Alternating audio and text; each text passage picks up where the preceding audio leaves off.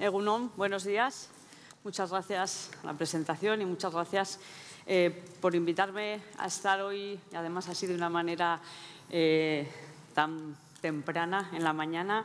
lo cual me da un poco más de responsabilidad de, hacerlo bien, en un proceso de tanto valor como el que hoy estáis aquí de alguna forma evaluando ¿no? el, avance del, del, del Carequín, del plan de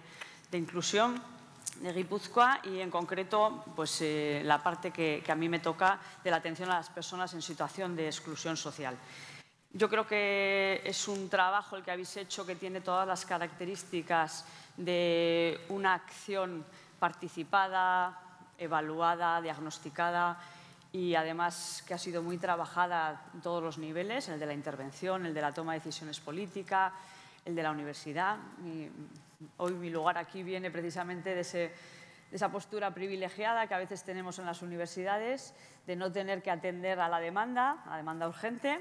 y de tener pues, el tiempo que muchas veces no tenéis las personas que estáis ahí, que sois quienes más conocimiento tenéis de, la exclusión social y también de la intervención que es más eficaz con estas situaciones de exclusión,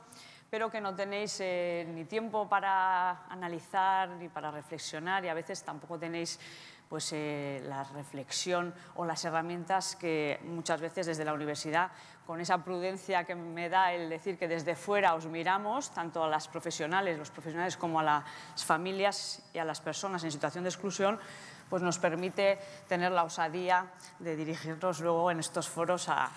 decirnos eh, o a deciros algunas valoraciones. Bien, eh, he preparado algunas reflexiones y la verdad que tengo que reconocer que me ha sido de mucho valor el trabajo, la evaluación que han hecho eh, bueno, pues de algunas personas que han sido eh, muy importantes y nucleares en, este plan. Belén Larrión, Francisco Javier Letuain, Necane Zabaleta y Joseba Zalacaín,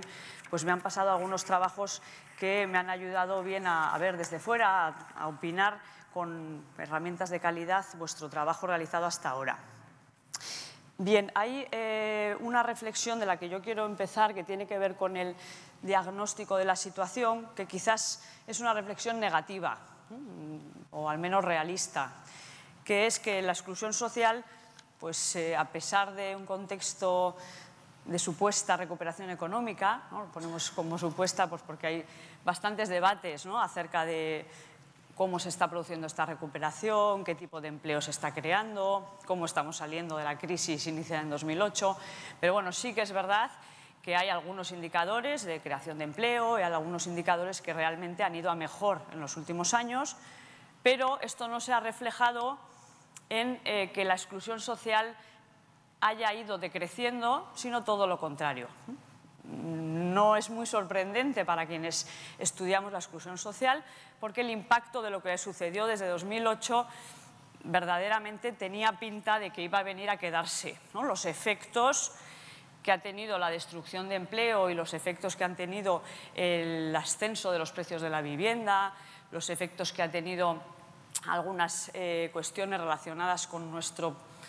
modelo de protección del desempleo, pues tenía pinta, y hay evidencias en, otros países y en otras crisis también en, nuestros territorios de otros momentos anteriores, de que eso cuando impacta en algunas familias y lo hace de manera intensa,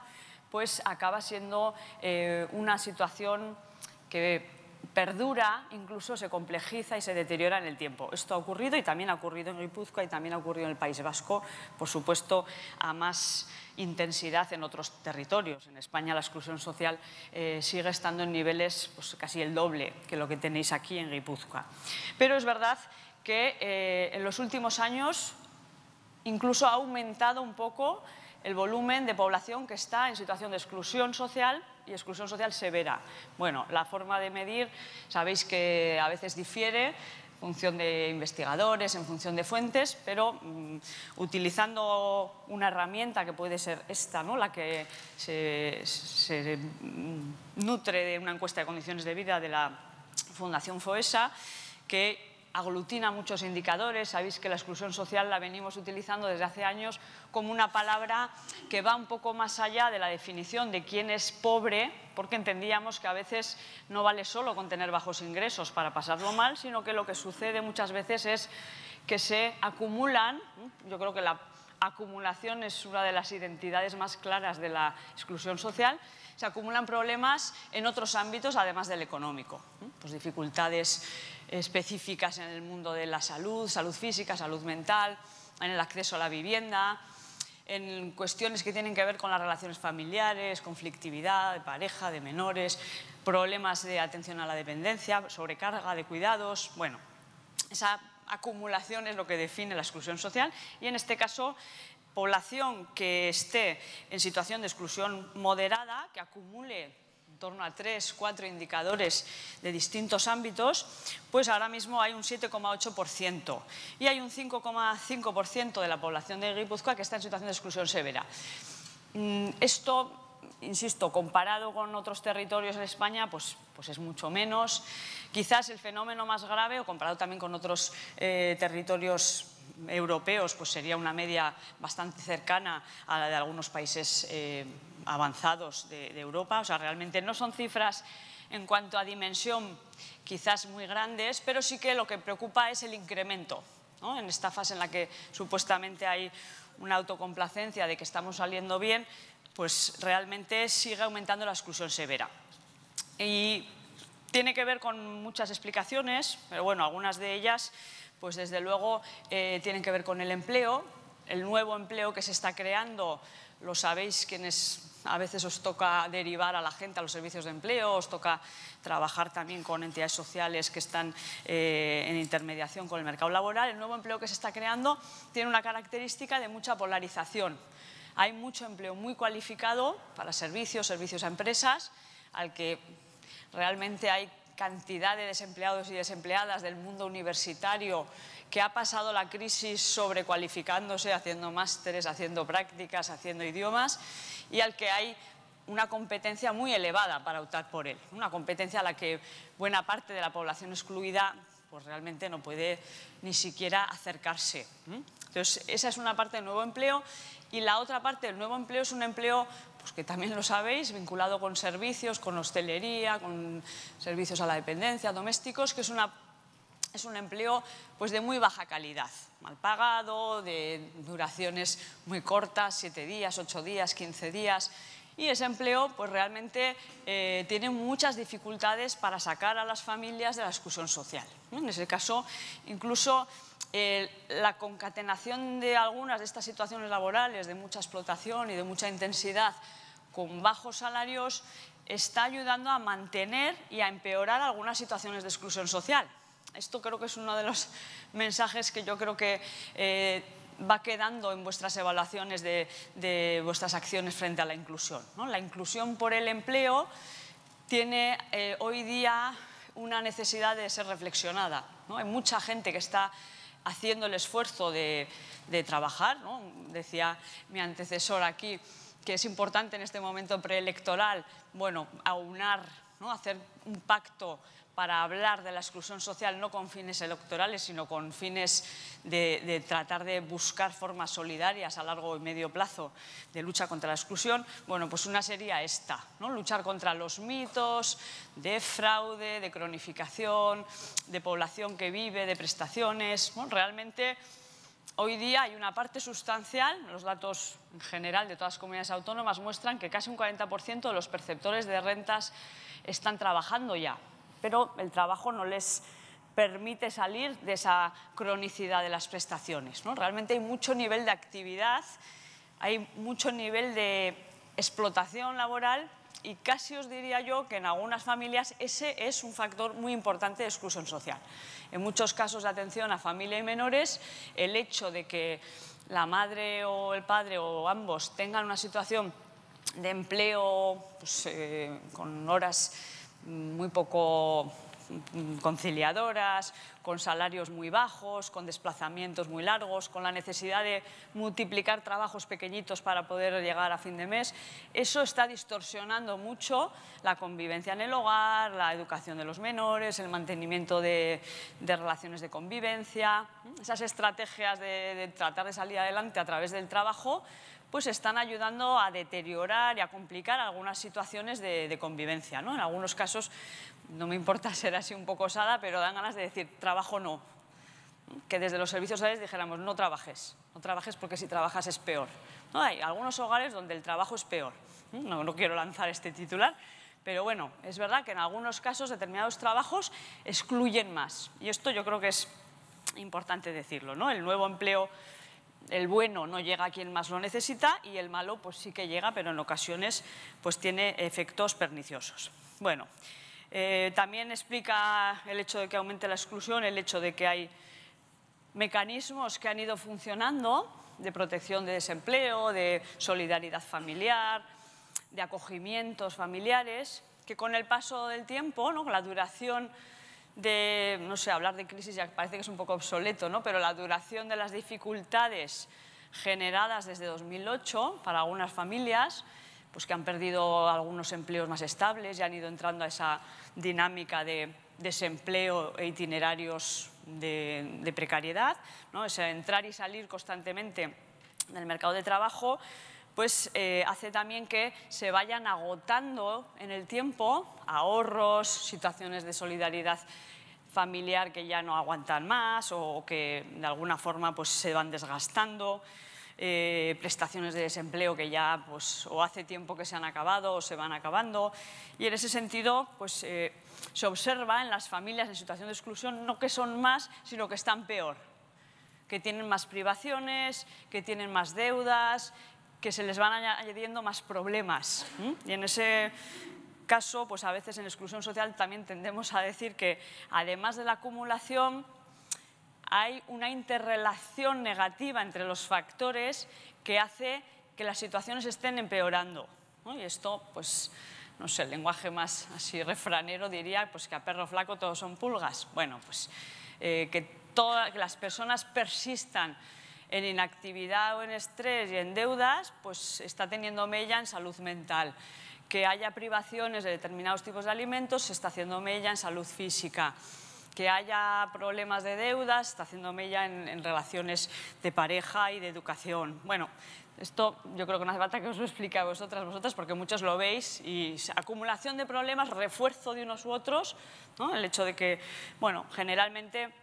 hay dos que siempre se refuerzan negativamente. ¿no? el alto precio de la vivienda, los problemas para pagar préstamos y, préstamos y, alquileres, que eso no ha cambiado, a pesar de la crisis eso sigue estando a un nivel elevado, con salarios bajos y con desempleo, son dos factores que cuando perduran 10, 15 años en las familias, pues complejizan la situación, ¿no? o las deudas o tener que recurrir a estrategias también de compartir habitaciones, que pues, también de nuevo tienen efecto en un ámbito que es un poco más difícil de medir desde lo,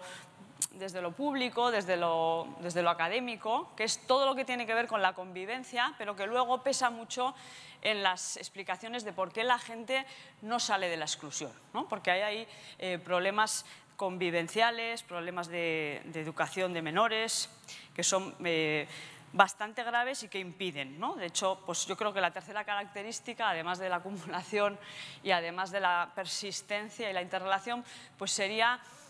para explicarle a alguien no de nuestro ámbito, qué es la exclusión social, pues diríamos, es una situación de la que no se puede salir sin que te ayuden. ¿no? Yo creo que eso nos viene bien para definir qué es exclusión social. son personas, son situaciones que necesitan un apoyo externo porque realmente su situación pues, les hace no poder salir solos o solas. Y de ahí que generalmente lo que hemos defendido desde hace años, que la exclusión social necesita pues, intervenciones de carácter integral, que tengan en cuenta la situación de todas las dimensiones de dificultad, que no planteen evidentemente inserción laboral sin tener en cuenta los problemas de salud física o mental, que no planteen inserción laboral sin tener en cuenta situaciones de sobrecarga de dependencia o cuidado de menores. O, bueno, el, tener en cuenta y el ir en paralelo poco a poco como, el trabajo social o, cualquier otra profesión de intervención social eh, define que es haciendo diagnósticos personalizados y planteando esos itinerarios que van un poco en paralelo, trabajando y viendo cuál es el momento esa palabra la utilizáis muchas profesionales, cuál es el momento oportuno de determinadas intervenciones,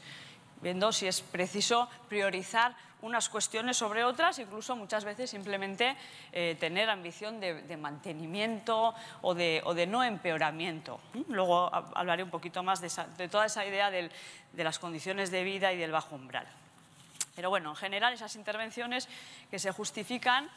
eh, de forma multidimensional, pero con una labor de apoyo que eh, tenga esa estrategia o esa técnica que también en trabajo social llamamos de acompañamiento, que de nuevo es una palabra un poco a veces eh, muy utilizada de forma, pues eh, yo diría que un poco ambiciosa, porque durante un tiempo ha habido una cierta moda y todas las memorias de entidades y de servicios hemos puesto la conveniencia del acompañamiento, Hemos hecho también mucho esfuerzo en definir qué es el acompañamiento, pero es verdad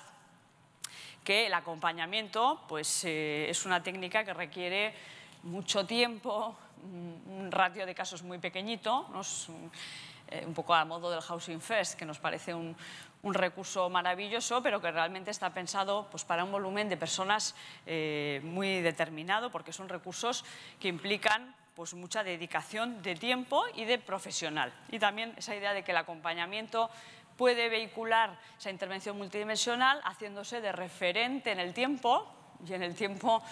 pues eh, también soléis decir muchas veces los profesionales lo que le ha costado a una persona caer a la exclusión social pues muchas veces es el recorrido que tiene que hacer a la inversa, ¿no? plantearse años, años de intervención. A veces no en las instituciones se ha interiorizado esta idea de que los procesos de exclusión muchas veces pueden ser muy largos o muy crónicos. ¿no? Tenemos una idea a veces de, bueno, pues trabajamos un tiempo y, vamos a otro caso, o, no podemos mantener ratios de intervención siempre tan elevados. Yo creo que hay que empezar a, bueno, pues a trabajar esta idea, que en salud también lo están haciendo, ¿no? de necesidad de asumir cronicidades y tratamientos muy prolongados para algunos casos. Obviamente no para todos, pero bueno, ahí sí, sí que se ha realizado un esfuerzo amplio por ver eh, o por valorar quiénes necesitarían esos cuidados amplios. Bien, simplemente concluir que con ese diagnóstico, concluir esta primera parte, con ese diagnóstico de que la, exclusión está empeorando en esta fase mm, de supuesta recuperación, pues vuelve a legitimar en un momento en el que bueno, pues, pues ya no se habla tanto de la preocupación de la pobreza y la exclusión, porque ha habido años, ¿no? hasta 2013-2014, de mucho más de mucho más enfoque mediático sobre estos problemas, bueno, pues decir, mantener la legitimidad de hacer eh, planes urgentes, como el que estáis trabajando aquí, de una manera tan, tan valiosa, que vayan a parar a la situación de estas personas. Es verdad que a los enfoques de exclusión siempre se nos ha criticado el hecho de que si ponemos el foco en la gente que peor está y legitimamos acciones eh, urgentes para los que peor están, pues perdemos un poco el foco más amplio de la lucha por la desigualdad, de buscar políticas de vivienda, de educación, de mercado laboral que no excluyan. Yo creo que, que esa crítica tiene mucho sentido y desde luego quienes trabajamos o defendemos la necesidad de hacer políticas de lucha contra la exclusión social no dejamos de lado ese debate de la necesidad de, buscar el origen de las desigualdades, modelos productivos que no excluyan, ir contra la precariedad laboral, bajar el precio de la vivienda. Evidentemente ese enfoque, pues nadie de los que estamos aquí lo perdemos, pero sí que sigue siendo necesario mantener la importancia de hacer un esfuerzo económico, social,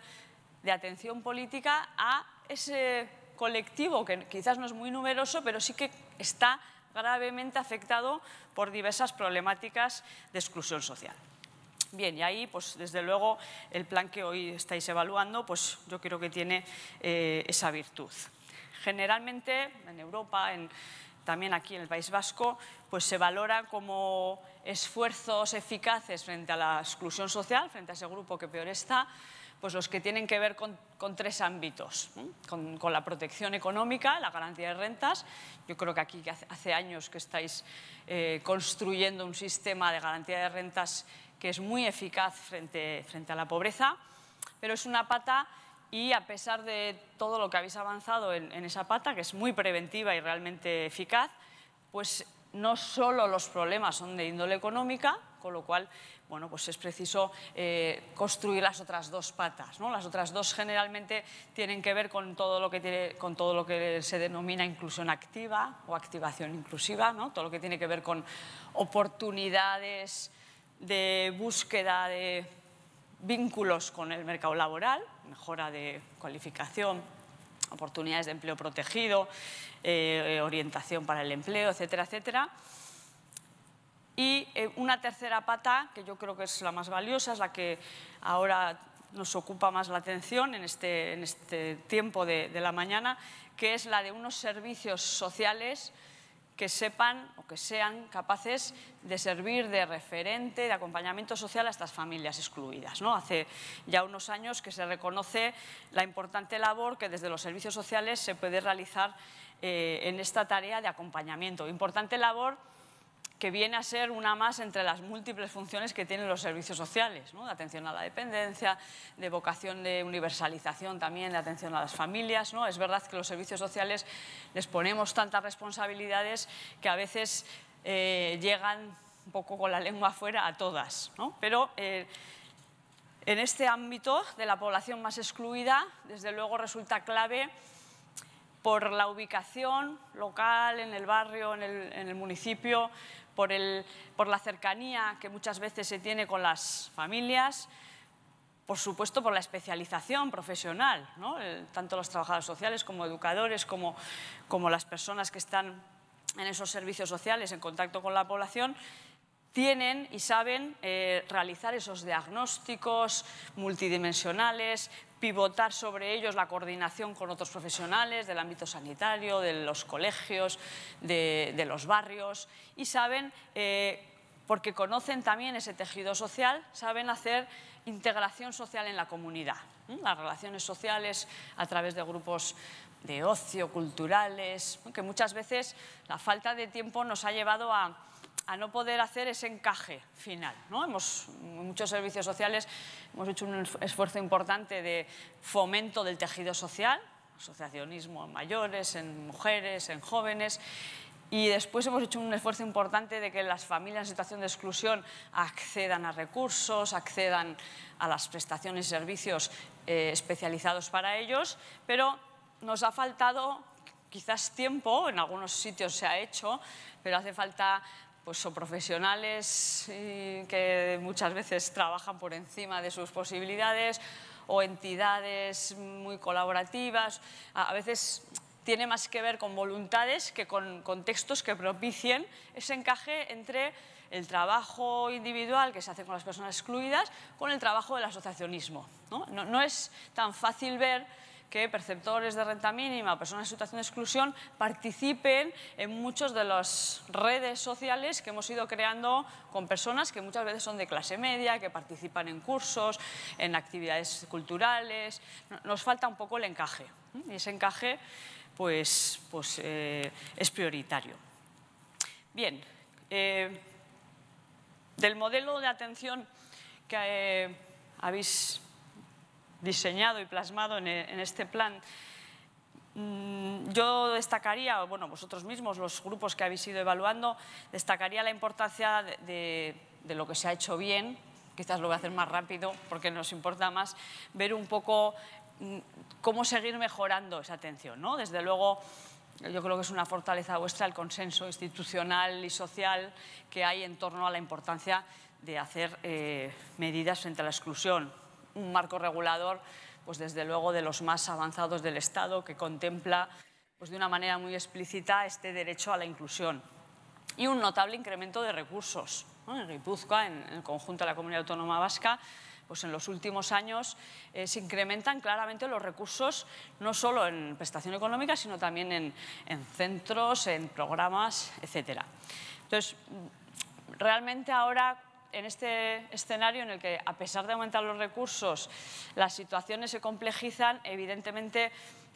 no, se complejizan porque los servicios sociales no lo hagamos bien, ni mucho menos, se complejizan por todos los motivos que hemos repasado antes, pero sí que es verdad que nos falta un poco la tarea de decir, bueno, no es solo cuestión de meter más dinero, no quiero decir que no haya que meter, hay que seguir fortaleciendo a los servicios sociales y especialmente, bueno, pues hay algunas necesidades dentro de algunas entidades y de entidades locales de estabilizar financiación, etcétera, pero no parece que eso sea el único problema, sino que quizás las debilidades vienen de eh, reorganizar bien la red y definir bien cuál y cómo debe ser el trabajo que se hace con las familias excluidas. ¿no? Y ahí hay bueno, pues al menos tres cuestiones que trataré un poco eh, los próximos minutos. Algo de la complejidad administrativa, que es mal común al conjunto de redes de servicios sociales. Eh, lo que tiene que ver a veces también con la bueno, con la doble red, también es un mal común a todas las redes de servicios sociales, en general en España y en Europa, esa, falta de claridad entre qué se debe hacer en la atención primaria con las familias en situación de exclusión y cuáles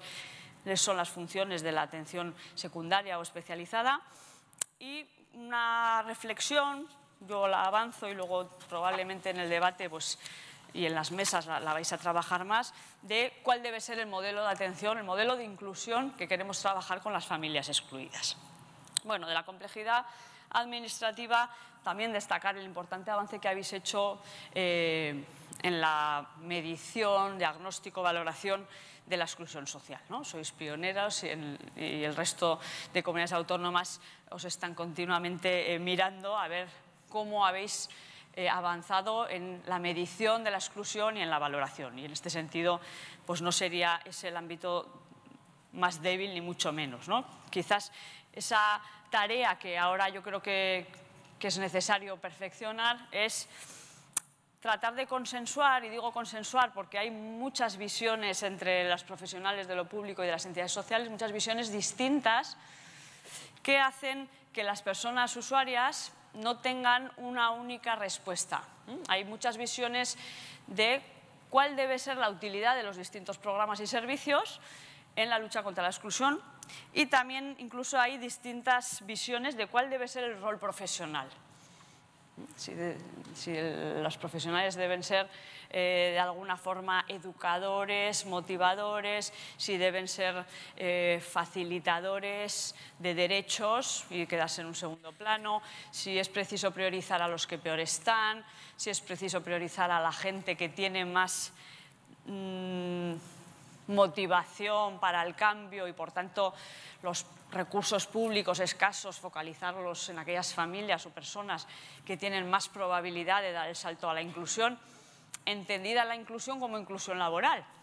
que es otra de las cuestiones que, también se puede discutir aquí. Entonces, bueno, eh, os ocurre aquí, e insisto, no es el único territorio, que hay distintas visiones de, esa red de recursos y de ese rol profesional. Y en ese caso, las distintas visiones, pues de alguna forma están interfiriendo eh, en el correcto funcionamiento de la red, pero también en el correcto acceso a los derechos de las personas que llegan a, los servicios. Bueno, de la doble red, decir... Eh, rápidamente que bueno, la atención de servicios sociales comunitaria, tal y como se diseña en la teoría, por así decirlo, se piensa en un modelo en el que se pueda trabajar los problemas sociales en la comunidad. Precisamente nace derivada de un modelo de cuestionamiento del tratamiento institucional de las mm, personas con problemas de salud mental, de los enfermos, de, los menores, etc. Y frente a los perjuicios de las instituciones se busca un modelo de tratamiento en lo comunitario, en las casas, en los hogares, en los barrios, en los colegios. Entonces, en la teoría lo que pensamos fue en buscar intervención social especializada en el ámbito local, comunitario. Ese modelo teórico cuando se implanta, no solamente en este territorio, sino en otros, choca un poco con una realidad administrativa que es pues, que tenemos comunidades autónomas y tenemos entidades locales. ¿no? Y ahí hay, bueno, a veces una aplicación del modelo que ha encontrado algunas dificultades porque de una manera racional las administraciones dicen, bueno, podemos poner servicios sociales en cada pueblo, en cada barrio, no podemos hacer servicios especializados en cada pueblo, en cada barrio. Hay un nivel autonómico que va a concentrar recursos que pueden mm, tratar con problemas especializados y una red primaria que puede dar paso a esa red especializada. Bueno, eh, esa, doble red que entiendo que funciona bien porque es racional para la administración, choca un poco a veces con esa idea de hacer atención especializada en la comunidad, porque a veces se produce una ruptura, y, muchos, muchos lo sufrís, una ruptura entre eh, quién se queda en la atención primaria, a quién atendemos en la atención primaria dentro de la exclusión y a quién pasamos a la eh, atención especializada. ¿no? Hay distintas dinámicas, pues hay gente que entiende que la atención primaria por estar precisamente en lo local, pues debe atender a los casos eh, pues menos graves y pasar a los más graves a la atención especializada. Hay visiones que a veces son bastante generalizadas de que mm, a la atención especializada debe pasar precisamente porque la atención especializada tiene un nivel de exigencia mayor y como también implica un volumen de recursos mayores, aquellas personas que la van a aprovechar mejor. Entonces, sobre todo cuando tiene que ver con dispositivos de empleo y de inclusión por el empleo, se derivan, de hecho a veces hay como una competencia por las personas más empleables dentro de la exclusión por parte de muchos dispositivos, ¿no? a, la lucha o a la caza de los más empleables. Y luego se van quedando en la primaria personas pues con más dificultad para la inclusión, pero que a veces son quienes peor están. Claro, desde la primaria el nivel de intervención establecido dentro de la agenda de citas y de acogidas y de, y de, tramitaciones, pues no permite, porque no lo diseñamos bien, un seguimiento intensivo de situaciones más extremas. Entonces, esto a veces distorsiona. Y yo creo que, bueno, eh, estáis de alguna forma esbozando un acuerdo, que creo que hoy también lo podéis seguir trabajando, un acuerdo de pensar que sea el nivel de la, de la atención primaria por perfil, por recursos, un nivel adecuado para trabajar problemas de intensidad baja y el nivel de la especializada un nivel adecuado para trabajar situaciones de intensidad media o alta.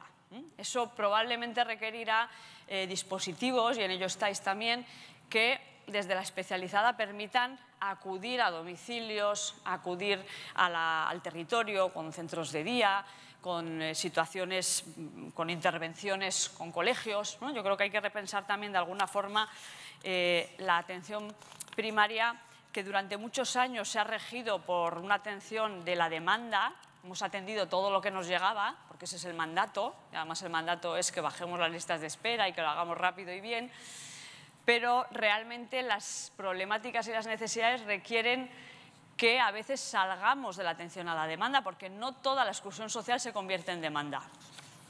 No toda la exclusión social acude a un servicio social de base a pedir una prestación. Al revés, algunas situaciones más graves, sobre todo las familias que tienen que ver con con problemas de menores, etcétera, se saltan directamente a la primaria y acudimos ya cuando hay un problema, un conflicto grande de, pues, de violación de la ley del menor, de consumos fuertes, del colegio que ha detectado... A veces llegamos demasiado tarde porque no hemos detectado, no hemos salido, no hemos estado. Y eh, esto nos lo impide la atención de la demanda. Yo no digo que no debamos atender la demanda, pero muchas veces es demanda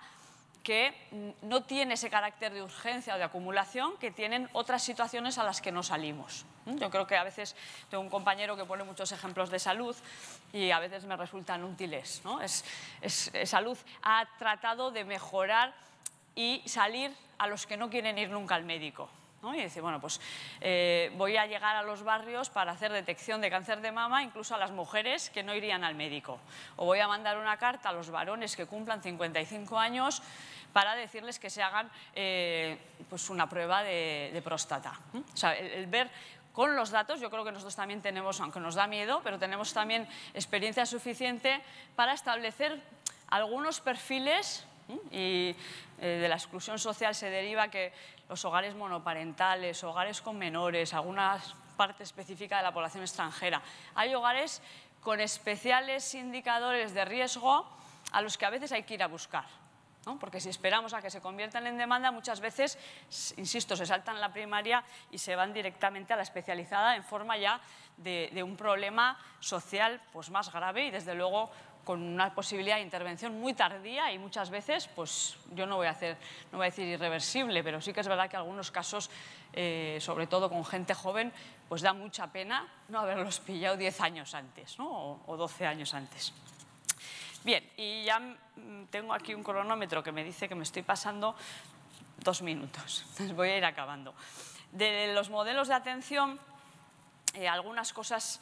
ya ha ido mencionando en la presentación. Bueno, creo que es preciso repensar y sobre todo consensuar si realmente tenemos imágenes profesionales distintas de lo que debe ser la, inclusión de población excluida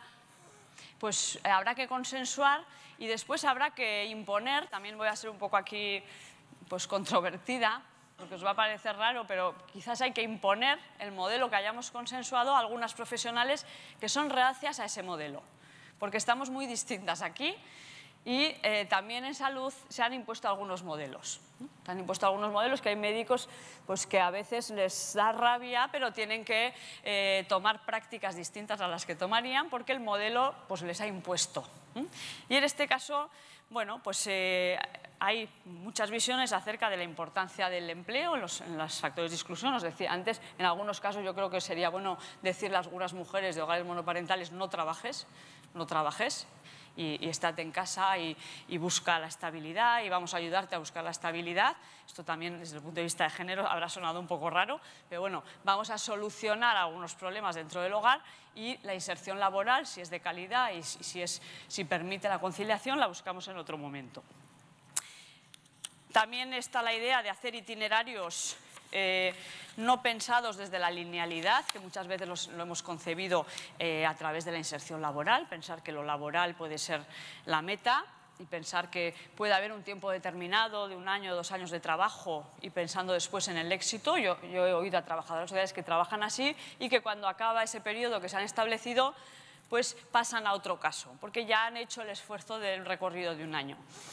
bueno, pues mm, la exclusión es muy circular, muy de idas y venidas, de caídas, de, factores que muchas veces no controlamos. Tiene que ver pues, a veces con parejas que se crean, otras que se rompen, fallecimientos, episodios de laborales. Entonces, mm, yo creo que hay que entender que la intervención con la exclusión también va a ser circular y va a ser muchas veces crónica, permanente, como decía al principio. Mm, es preciso entender también, y de ahí la cuestión de la baja exigencia, ¿no? que nos viene un poco prestada del mundo del alcohol, de las drogas, etcétera, es preciso entender que en muchos casos las personas en situación de exclusión, precisamente por el tiempo que llevan sufriendo algunos problemas, no van a tener motivación para el cambio, ni siquiera van a ser receptivos, ni te van a querer escuchar, ni te van a sonreír. Y no quiero ser frívola con esto, pero bueno, es, es verdad que, hay personas y familias que no, tienen, no muestran motivación y, son sucesivos los incumplimientos y no acuden a determinadas oportunidades y, no te tratan bien ni con respeto. Esto es una característica de una, parte importante de la exclusión social. Y con esto también pues, hay, que, hay que buscar la solución o la, la respuesta. Y en ese sentido, pues, esa idea de la baja exigencia que muchas veces se, ha utilizado con centros, etcétera, pues también entenderla con intervenciones. ¿no? No, pedir avances en los itinerarios, sino a veces simplemente pedir mantenimientos, etcétera. Del modelo del House First eh, y del Work First, pues también aprender esa idea eh, de que muchas veces el empleo, más que como una meta, puede servir como un entorno de trabajo. Aquí los compañeros, eh, el compañero Fernando que viene después sabe mucho de esto. ¿no? Hay entidades que hace mucho tiempo, traperos de Maús, Artu, que hace mucho tiempo que entienden el empleo no como una meta, sino como un entorno de trabajo social. ¿no? darle a las personas una oportunidad laboral el que dignificas, que tienes compañeros de trabajo, que no le estás pidiendo la declaración de la renta, el DNI, la cita, sino que simplemente le das un contrato, se pone a trabajar y en ese entorno de trabajo se van trabajando relaciones personales, motivación. Hay mucha gente que solo con levantarse por la mañana y tener algo que hacer ya tiene un avance. Entonces, bueno, el, dar primero una oportunidad y estoy poniendo ejemplos de trabajo, pero pueden ser oportunidades colaborativas en ayuntamientos, en actividades formativas de ocio, de deporte, pues supondría un primer enganche relacional, social, individual, incluso el propio rol profesional de la persona que trabaja o que atiende, pues ya es un enganche. Para esto muchas veces no, tenemos tiempo.